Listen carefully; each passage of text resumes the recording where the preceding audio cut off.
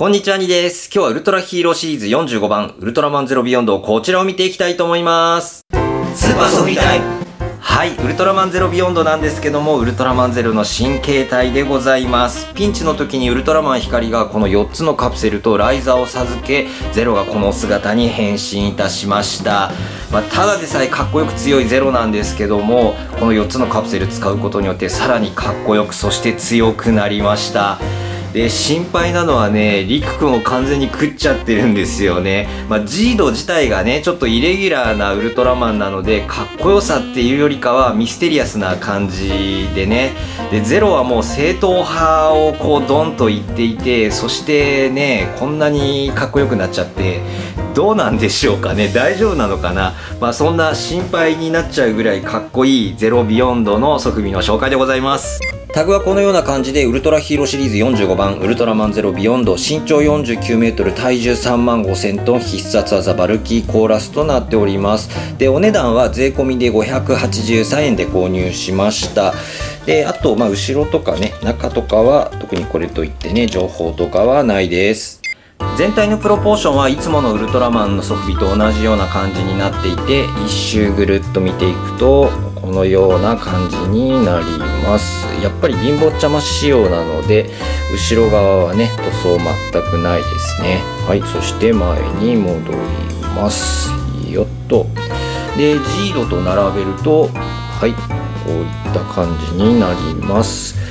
大体の背丈は一緒ぐらいですかね。でただ体の線はジードの方が太い感じになっていて胸周りとかねすごいマッシブですよね。あとそうですね肩のラインがねちょっとそのゼロビヨンドの方が低い気がするっていうかどうなんだろう。ちょっとこううん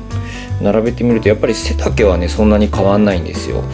でもあのこのアイスラッカーみたいな部分ですね。これが結構バッとせり出てるのでもしかしたらねこの高さを合わせるっていうところでちょっと顔周りとかが全体的に少し沈んでるのかもしれないですね。だからあの力強さっていう点でいくとうん、ジードの方がなんかこう力強さがあるようなねちょっとゼロビヨンド華奢に見えるかなっていう気がしないでもないです。お顔はこのような感じでかなりのイケメンでございます。目の部分ね金色に塗装されていて頬の部分にラインが入っております。あと額の部分ねあのここに青い塗装がね3箇所入っております。いやもうすごいですね。アイスラッカーみたいなものが4つくっついております。で背面はこのような感じになっていて、まあ、特にね塗装はないですね。でそのまま胸周りいきましょう。胸の部分はこういった形になっていて、まあ、カラータイマーですかね。で周りの部分が銀色に塗装されていてそして体のラインがねこれは紫色ですかね。ちょっと濃いめの紫みたいなそういったラインが入っております。体に関しては体っていうかもうあの成型色ねあの上下ともに全てこのちょっとラメっぽいっていうかザラザラした感じな銀色っぽいねそういった成型色になっております。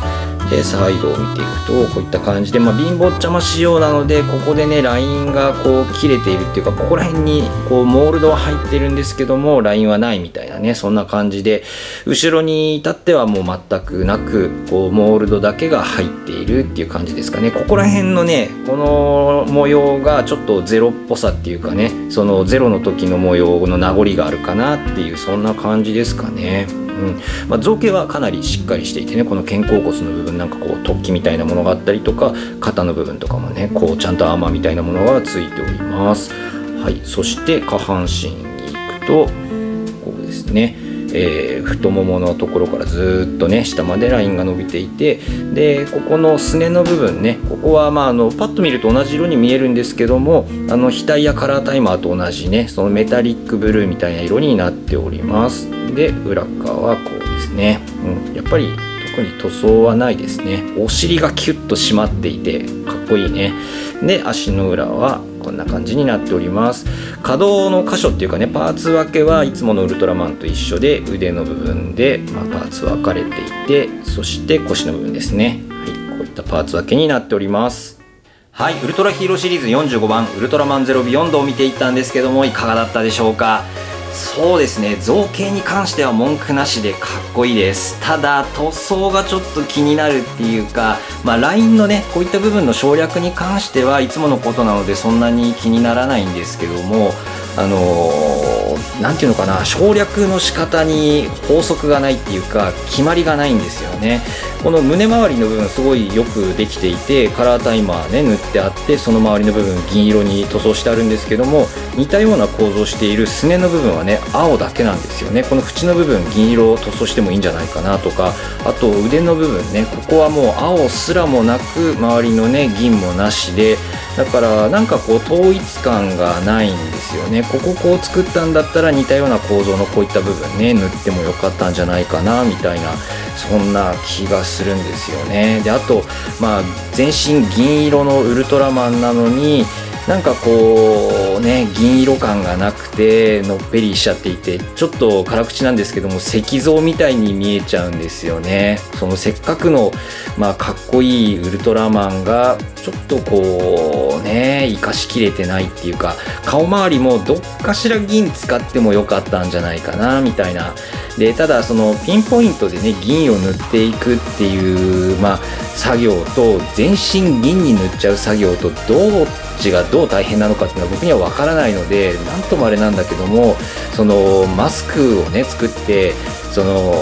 銀色をねこう部分塗装していくぐらいだったらもうね最初からバーッと塗っちゃってその後ろは塗ってなくてもいいから前面だけでも銀色バーッと塗っちゃってやってもよかったんじゃないかなみたいなね、まあ、でも前面だけ塗るぐらいだったら後ろもね塗っちゃってもいいとは思うんだけど。だからせっかくのね銀色のウルトラマンがちょっとねもったいないなっていう感じですね。ジードと並べるとジードの方が銀がねやっぱり塗装だから綺麗なんですよね。うん。いやーなんとも残念な感じでございます。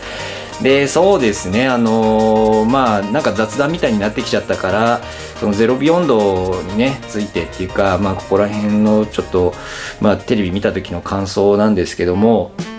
レイトがねその覚悟を決めてウルトラマンになりたいって思ったあのシーンはすごい感動しましたね。やっぱり子供がいるお父さんだからこそ感じる何かっていうのがもうあそこからはにじみ出てるっていうか子供がねそのウルトラマンが来るから大丈夫っていうそのヒーローの存在を、まあ、信じていて自分がそのねヒーローになることができるその要因を持っているっていう状態で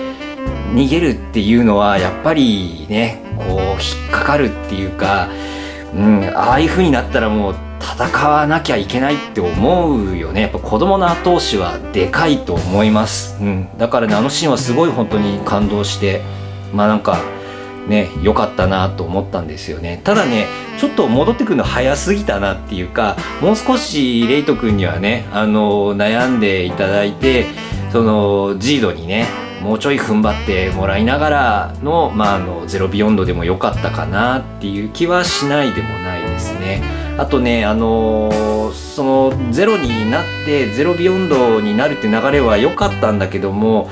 光の登場の仕方がちょっと唐突すぎたっていうのと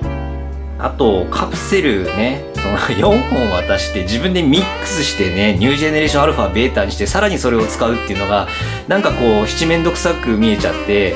もう最初からアルファベータで渡しとけよみたいな そんな感じもなんかこうね受けたりとか、まあ尺の問題っていうかね1年のクールでやるわけじゃないからどうしても早回しでねやらなきゃいけない部分はあると思うんですけどもうん、できたらねそのカプセルを渡すまでの流れっていうところとかあとねそのまあ、レイト君の葛藤とかももう少し見たかったなっていうのがまあ本音ですかね。まあ、でも、うん、あの、ジード本当にこの先どうなっていくのかっていうのね、すごい気になるし、あと、リク君がね、こう、どういう風な感じに成長していくのかっていうのがすごく気になるのでこの後もすごい楽しみでございます、えー、この後もねいろんな遊び発売されると思いますのでどんどんねあのレビューの方へ頑張ってやっていきたいと思います。はい今日の動画いかがだったでしょうか？もし面白いなと思いましたらチャンネル登録や高評価よろしくお願いします。それではまた次の動画で。バイバイ。